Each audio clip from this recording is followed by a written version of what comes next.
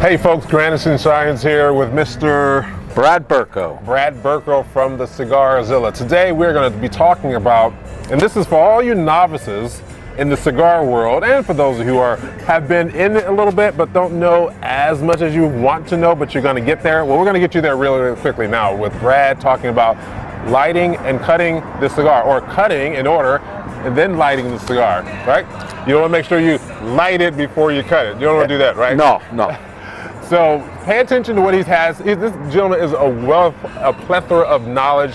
He does a cigar 101 class, which we're going to be posting information about that. We're going to be hosting that in Scottsdale, Arizona. We'll give you all the information. He's an awesome teacher. So we're going to segment part of that talk and we're going to let Mr. Brad Berko elaborate on lighting and cutting a cigar, or cutting and lighting a cigar. By the way, this is an awesome skill set to have, especially for those of you who are in the business world, you're getting into the business world. Also, this is a really good way to form camaraderie with people that are at the cigar shop. So you may find some really good clients there as well. So, Brad, enlighten us on the cutting and lighting of cigars. Absolutely, Grandison, thank you. And speaking of the camaraderie between cigar smokers, it all starts with cutting the cigar because just like you have your own personal taste of what cigar you want to choose sure. to smoke right. at whatever time of the day, whatever strength, and we'll talk about that on another video there are different ways to cut a cigar and different ways to light a cigar. Uh-huh. And yep. lots of times it boils down to personal taste.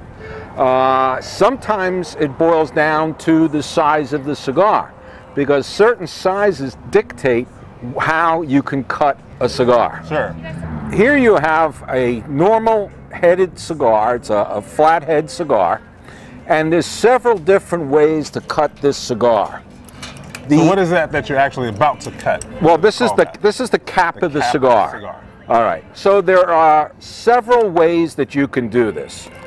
The easiest way and the most acceptable way to cut a cigar is to use this guillotine cutter. And basically it's a blade that comes from both sides. It surrounds the cap of the cigar and you cut it. This is the cap of the cigar. Now you can see how the cap has, it's called shoulders, where it comes rounded to uh, where it's lengthwise. You want to cut it just on the down size of the going down on the rounded side. Now the easiest way to cut the cigar with the guillotine cutter, and it works every time, and the easiest way is to basically just put that cigar cutter open across a flat surface and then squeeze it and you have it cut. Thank you. Okay? And this is the little piece, I don't know if you can see that, that's the little piece that came off the cap. So that's a guillotine cutter. You find them in most any cigar stores, most cigar stores will have cutters and lighters for you to cut. Now, what if they're worried about, oh, my cigar touching the table? Well, that's a very good point. What you're doing when you put the cutter open on a table, you're cutting off the part that touches the dirty table. There you go. The part that goes in your mouth never touches that dirty table. See? So there you go. All Perfectly right. safe. So for all those who have a little bit of a germaphobe going on, don't worry about it. Exactly. now, my absolute favorite way to cut a cigar and the, uh, the preference that I have for a cigar is to be cut with a V cut. I like that too. And what a, this is a, a Colibri V cutter, which is spring loaded, which is fantastic. You, you can go on. Uh, yes, okay. you go online. It's like thirty-five dollars. And I've had this for two or three years. The blade is not dulled out. The spring is fantastic. It just works great. So what you do is you put the cigar into the V, you squeeze, and then you cut out. And look at that, Granison. Look how beautiful. Perfect. Now, if you can see this, that's a V that's cut out of the cigar. It's perfectly cut, got nice sharpness to it, and you put it in your mouth and it never closes. It stays open and you just keep drawing on the cigar. It's all about the draw, ladies and gentlemen. Absolutely. If you cannot get a good draw on a cigar, I don't care if it's a thousand dollar pre-embargo King Louis the Fifteenth cigar. If you can't get a draw on a cigar, Forget about you it. can't forget about it, as they say in The Sopranos or in my neck of the woods in New York City. Forget about it. But if you can't get a good draw, you can't get taste, you can't get any enjoyment, you, you can't get anything. So let me go into my little humidor and get out another cigar because I want to show you the last way to cut a cigar. And this last way is what we call a punch or a bullet cutter. All right, now you really need a fatter uh, cigar, a bigger ring gauge cigar. And what you do is like what I have here is I have two punch cutters that are for different size caps on the cigar. All right, so this one here in my left hand is for a bigger uh, cap of a cigar, and this Gordo, one, 6 by yeah, right. And this is a Toro, so that's about a smaller one, and this is a, for a Gordo.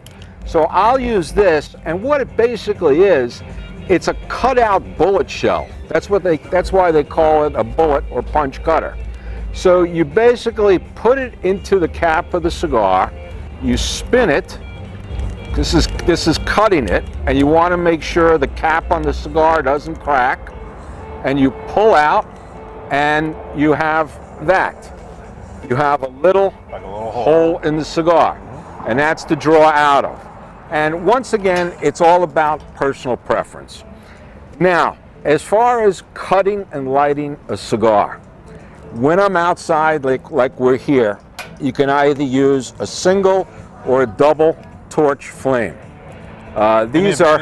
one over the other? Uh, it's pretty much uh, personal preference. I, I like the maximum heat and uh, maximum width you could put on the cigar for lighting it. So I'll use a double torch. You know, it's kind of hard to see that, but there's two torch flames coming out of it. So now, as opposed to a single torch, where I don't know if you could see it, but it's only one flame that comes out. All right, but when you're outside, to have this torch is fantastic. Uh, as opposed to a soft, Soft flame lighter. Now, you see that? It just goes out. Okay, it's staying lit a little bit, but the flame is going all over the place.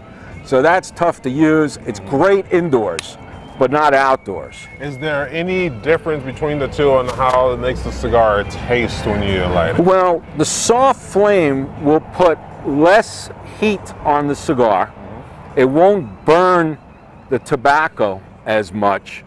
And it's all about the fun and the enjoyment. Sure. You know, you got to enjoy cutting your cigar, you got to enjoy lighting your cigar, the whole experience. You have to show all these other people.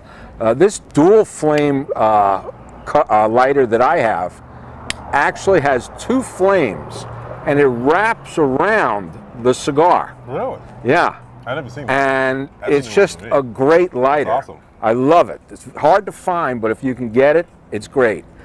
Now, when you're lighting the cigar, the first motion that you put on the cigar is you toast the cigar. So you see these light brown leaves that come out of the foot of the cigar. The first thing you do is you hold the flame about an inch away. You always go in a nice round motion because you want to get the whole circumference of the cigar. And you see it goes from that light brown to the black. Mm-hmm. Okay, then immediately you put it in your mouth. You continue to light the cigar in a round motion. You draw on the cigar, which means you pull the smoke in your mouth. You hold it there for a few seconds, and then you exhale it. Don't inhale. You never inhale. If you do, might as well smoke cigarettes. It's healthier. All right. So let me just show you, because as you know, Grant, and we've done this so many times. Absolutely. This is the fun part This about Cigars part. This is the 101. fun oh part, Absolutely. So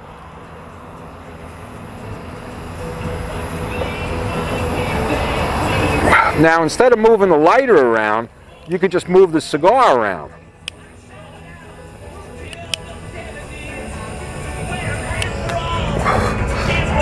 Then you blow on it, and it should be perfectly lit. Now, the other advantage of using a torch lighter is sometimes with the tobacco being a little inconsistent, whether it's the wrapper, the binder, uh, or the filler, it might not light evenly. Okay. So you just take that little torch and you torch that part that's not burning evenly. And then the rest is sit back and enjoy your cigar. There you go. There you have it, folks. How to appropriately cut and light a cigar for all of you who are new out there. He also talked about the different types of lighters as well.